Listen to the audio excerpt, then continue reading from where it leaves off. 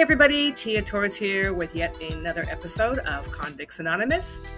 So, you know, I just realized that I've never talked about the difference between jail versus prison because there is a difference. Um, although people tend to use the word jail across the board, but there technically is a difference. So, um, you know, my podcast is mainly about prison life, but I'm going to take a few minutes to at least give you an explanation of the difference between the two. So, jail is normally when a person gets arrested, and this is where they wait while they're trying to fight their case or they're awaiting trial. Okay, usually you see these like at the county jail. Um, they're usually these big, huge buildings. Um, you know, even though prison is normally like the scary place. Um, technically speaking, if you ask any inmate, they'll tell you we'd rather be in a prison environment than a jail environment. So here are some of the um, some of the I got a list of uh, the pros and cons. Get it? Cons um, of being in jail versus prison. Um, the first is the freedom. You know, when you're in a jail, um, you're normally inside a building whether you're on the first floor to the to the sixth floor, you're in a building. Okay. Um, you don't see the light of day except through like sometimes these little tiny windows, um, depending on you know which particular jail you're in. So, and you're confined to just your area. Um, it's pretty claustrophobic. So, um, you know, I, I would have to say, for lack of a better word, you're you have less freedom in a jail as opposed to a prison, even though technically you have no freedom at all. Um, number two, fresh air. Like we all need fresh air, right? So again, that goes back to number one, which is in a jail, you are confined to a building. I will say this: I like I know like the LA County Jail in Los Angeles. They used to, I don't know if they still do, but they used to let inmates go on like the roof, like at the very tippy tippy top. Um, I mean, you're in the middle of downtown LA, breathing in all the smog. So I don't know. I don't know what's better for your health, but um, you know, there are some jails that do allow you to go outside into like a secure yard. Normally, you know, they don't, but there are some. So fresh air is a big thing. Um, I know not only for a healthy mind, but a healthy body. Okay. In prison, you get to go out and about depending on your your security status. Um, you can go out into a yard you know on the grass walk a track you know like the the you know the like the racetrack thing where you can walk and and stretch you know stretch your legs whatnot. So um, you know that that was a big thing i know for like my my ex-husband. Um, he was locked up in a county jail for it was like six years. So he didn't get to feel any fresh air for that long while he was fighting his case.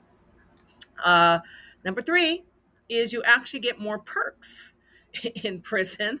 Um, for one, um, your your phone calls and your and your um, correspondence and emailing and writing letters to to your people on the outside.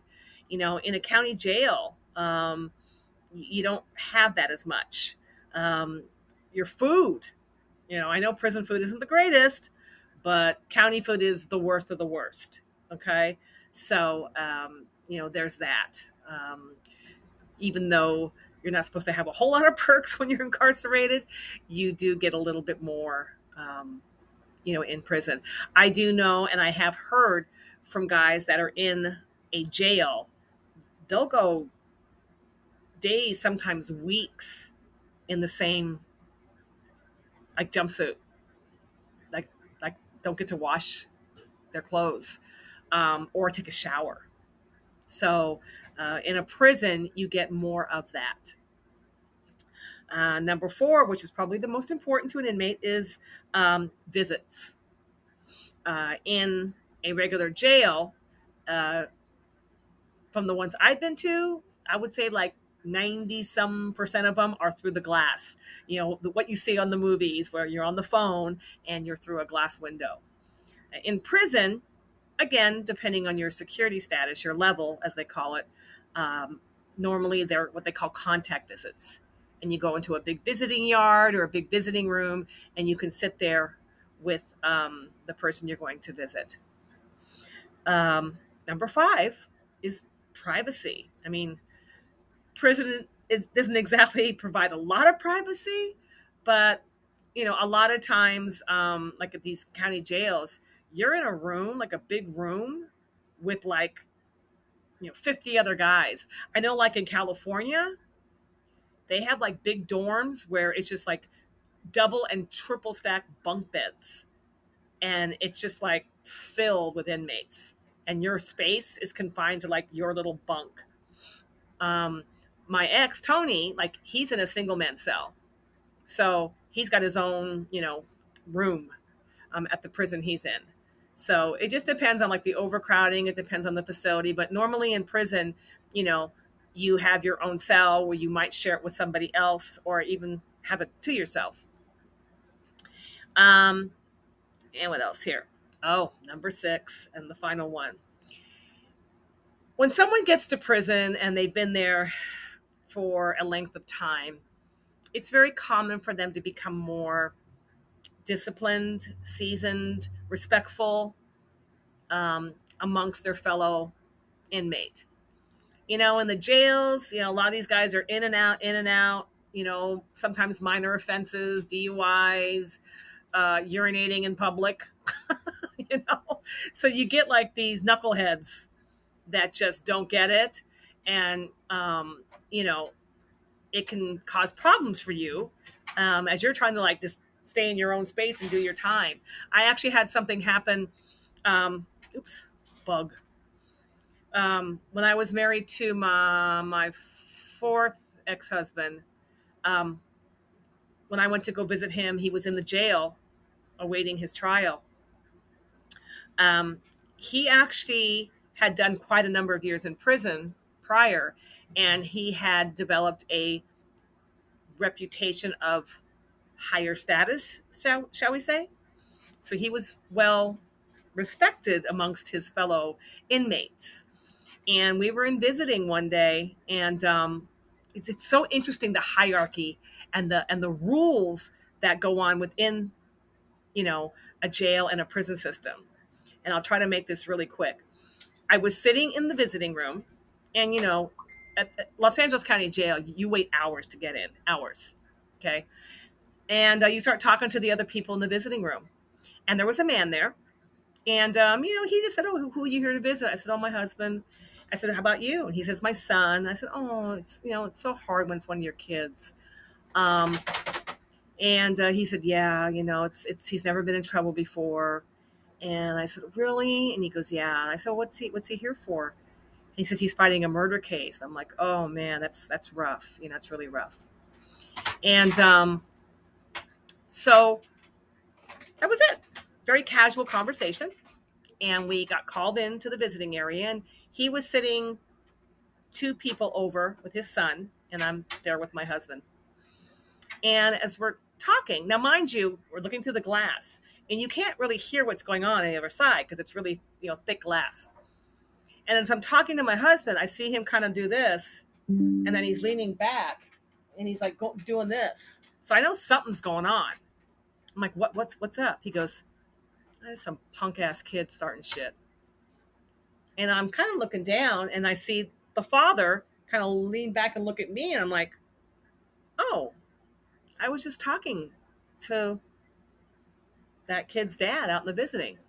I said, what's, what's going on? He goes, I don't know. His, some kid is calling me a, a rat and a snitch. And I'm like, do you know? Because I've never seen the guy a day in my life.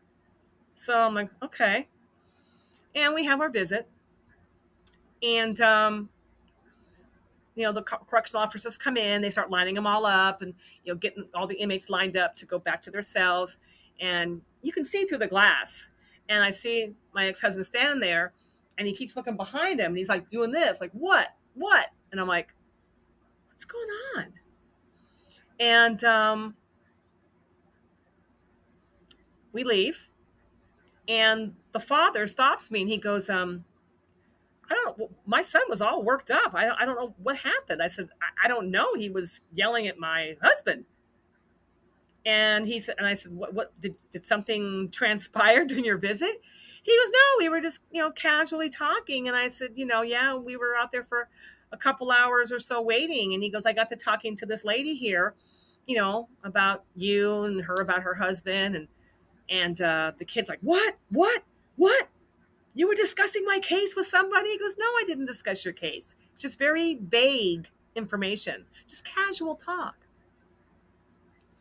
So I get out to my car and my phone rings. And I can see that it's the LA County Jail. So my husband's calling me already. And he says, What the fuck happened out there and visiting? I'm like, Whoa, whoa, whoa, whoa. So he starts telling me this kid is still giving him grief. It's like he's like he's an 18 year old kid. And um, he's just calling me a snitch and a rat, and your wife was trying to get information about my case. And I'm like, what? So I repeat the same story to my husband. And um, he says, okay, let me let me handle this. Because this this kid's gonna get me killed calling me these names, you know? So a little while later he calls me back and he goes, It's all worked out he goes, uh, now that you explained everything to me, um, he said uh, a few other inmates stepped in and told the kid, Do you know who this is? Like, do you know who he is in the prison system? And when they told this kid, the kid was like, Oh God, I'm sorry, I'm sorry, I'm sorry, I'm sorry. Don't kill me, don't beat me. I'm, I'm sorry. my husband or my ex-husband, he was like, dude, it was just casual talk. Like they weren't. I'm not trying to get information on your case. I don't even know who you are. So, I asked my then husband, like, okay, so I don't understand what, like, what was the big deal? He explained it to me.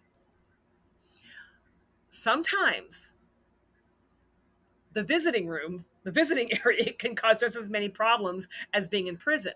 Because what happens is that, let's say me, I'm trying to maybe try to get my husband off on his charges. So I'll start asking people information about their loved one's case, trying to pull information out. And then I take said information and I go to the cops or the district attorney's office and exchange. I'm going to tell you what I heard if you drop his charges or or you know whatever. So I guess I, I guess apparently it's a thing. you know, what do what do I know? Um, and again, it's just doing this for so many years. You you have to learn the ropes. You have to learn the rules and everything. So um, in prison, that probably wouldn't have got as far as it did, because again, these guys have been sentenced already. Normally speaking, they're just a little more mature than the average, you know, kid coming in there and trying to puff out his chest. So, anyways, there's my little quick 411 on jail versus prison. And let me tell you something the drama, you think women are bad? Yeah, you see the drama that goes in with these dudes in the that are locked up. It is crazy. Anyways, um, you can check it out. You can continue to follow me on my Patreon platform. Um, go to patreon.com and search for Convicts Anonymous and where you can find the rest of my podcasts and keep up with everything prison. See you later.